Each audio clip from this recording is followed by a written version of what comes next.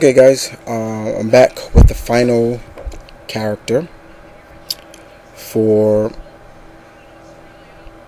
this week, and I feel that it's time to tell you the last character. As you can see, it's this feline femme fatale known as Greer Grant Nelson, aka Tigra. And she's one of my favorite Avengers. Uh, and I've always liked cat like characters, you know. You know, uh, it's always been something cool about them. And I, I, and I and I guess yeah, it all started with Thundercats, but uh, it's something unique about them. You know, they have the grace, the agility, you know, the heightened senses of a jungle cat or a regular cat. Now, the thing I don't think a lot of people know, you know, Tigra's origin, and I'm here to share it with you. Um, okay. Now, Greer Grant basically Greer started out, she was just a regular human, you know, that pretty much took her. She was just a regular human that she went for treatments and it it basically upped her human peak level. She took over the mantle of a character known as the Cat. Uh, that was the first time she actually appeared in the, the book named The Cat, number one. Uh, during that time, she nearly died. And when she was dying, her mentor, Dr. Uh, Tumolo, offered to save her life by bonding her soul with one of, you know, basically this ancient race of cat people. Uh, one, one of the, and she basically accepted. And she basically became that's how she basically became Tigra. Um she she's she's kind of considered a, a a tiger or however you want to consider it. Uh when she was after she was turned into, you know, Tigra, Hydra found their location and attacked them. She was able to escape and she even met that day running from Hydra. She met Werewolf by Night, and they actually fought Hydra soldiers, and they. Uh, but unfortunately, their little team up uh, didn't last because she was she was captured by Hydra, and and where the werewolf actually was left unconscious on in his location where they were. Uh, but he came after later on. Uh, he rescued Tigra and they fought their way out.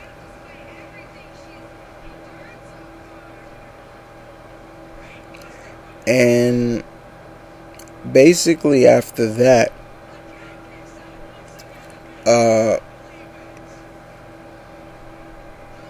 she at when in the earlier days Tigra was able to like transform her form, change her form uh, with like a like an amulet that was like made of a cat. But she lost that ability. Um she she's been around for a long time and as well as worked for a lot of people. I mean, she's met, she's fought people like Kraven the Hunter, uh, Super Skrull, you know. Uh, she's she she broke into the Baxter building one time uh, to help um, to fight uh, a character known as Cougar. You know, she's done a lot of things that you know it's not very but you know you you get and she kind of had a thing for thing, for Ben actually, when she she actually stayed in the the Baxter building, you know, but you know it was Ben at that time loved Alicia Masters and he kind of rejected her. So uh, she she left. She she went away, and um, she would move on once again. She, she was chosen. She finally made her way to the Avengers, and when she was with the Avengers, uh, she uh, she started to catch. Uh, she she started to, I guess you could say, catch feelings for um, Hank. Um, in a way. Um, but uh, once again, you know, it was a no-show. uh, she's even helped Spider Woman when Spider Woman had her private and guest private PI business. Uh, when the Avengers went to the West Coast and under Hawkeye's leadership, she went with them. Uh, she she really really she really couldn't really make up her mind sometimes about why she was doing this and things like that. But uh, she always was always there to help whatever team she was on, and she would always be a value asset to whatever team. Like when they would fight just some big challenges, some very powerful villains that you know that really took the Avengers to face.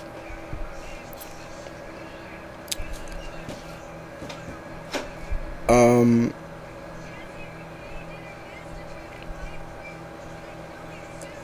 a lot of people want to know what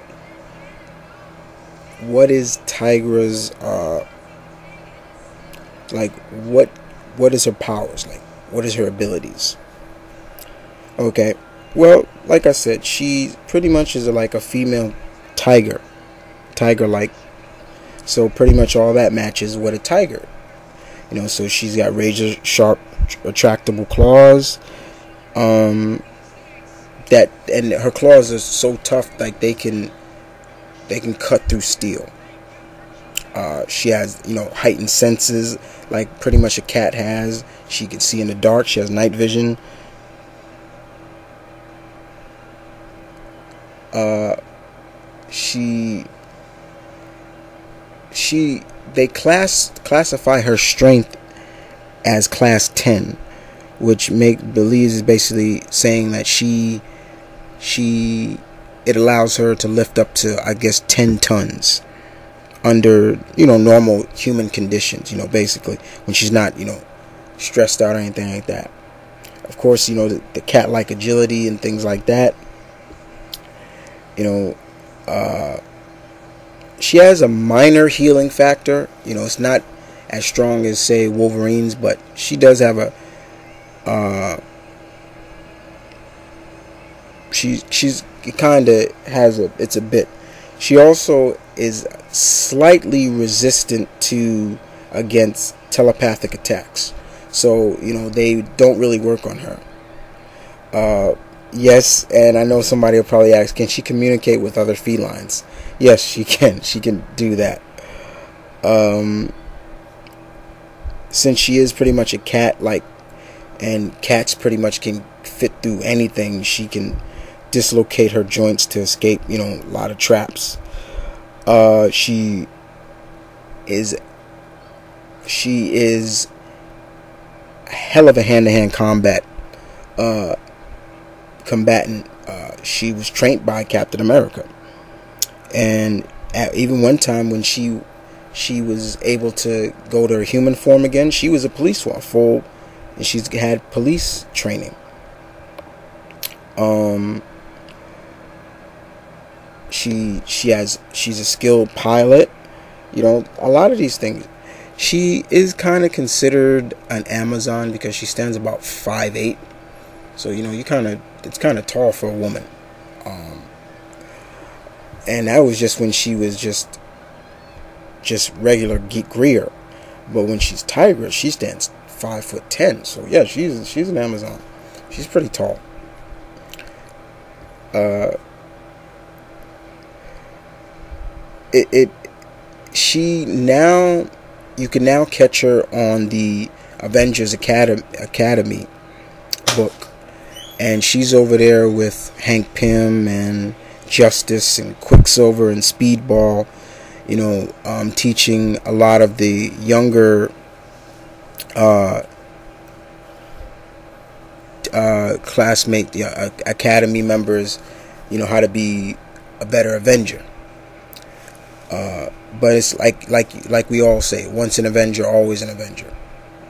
Now, she has made appearances outside of comic books. She she was actually in the first adaptation of the Avengers cartoon. Uh, she was a member of the team, the first Avengers cartoon back in 1990.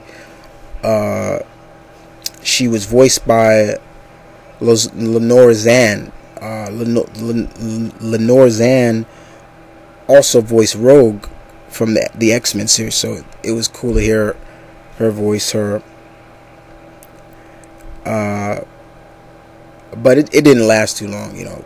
That that Avengers cartoon just really because that was pretty much Avengers meet Power Rangers when all that that armor was they used to wear just was just terrible to me.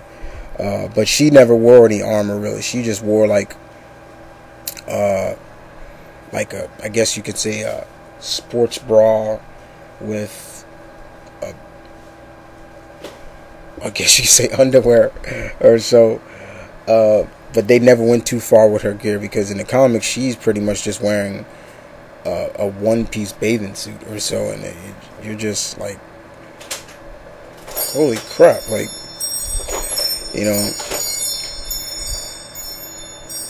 So you know, but despite her her like feline looks and things like that, she's still a, a cool character, and um, she has a very unique personality as well. Like she can be very intense in your face, and then then she could be almost like very much subtle and calm and cool.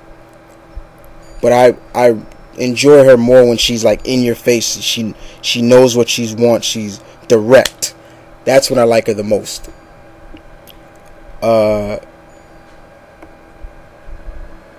but you guys tell me what you think of Tigra. I've always said I hope that she she makes an appearance in the Avengers uh, Earth's Mightiest Hero cartoon. But you guys tell me what you think of, of Tigra. Uh, do you like her? Do you think she's cool? Uh, or you think she's just oh she's just another feline character female feline character that just is there to um, appeal to comic lovers but other than that guys this is uh, Mount Vernon Kid saying peace one love stay tuned guys. Keep it real. You guys take care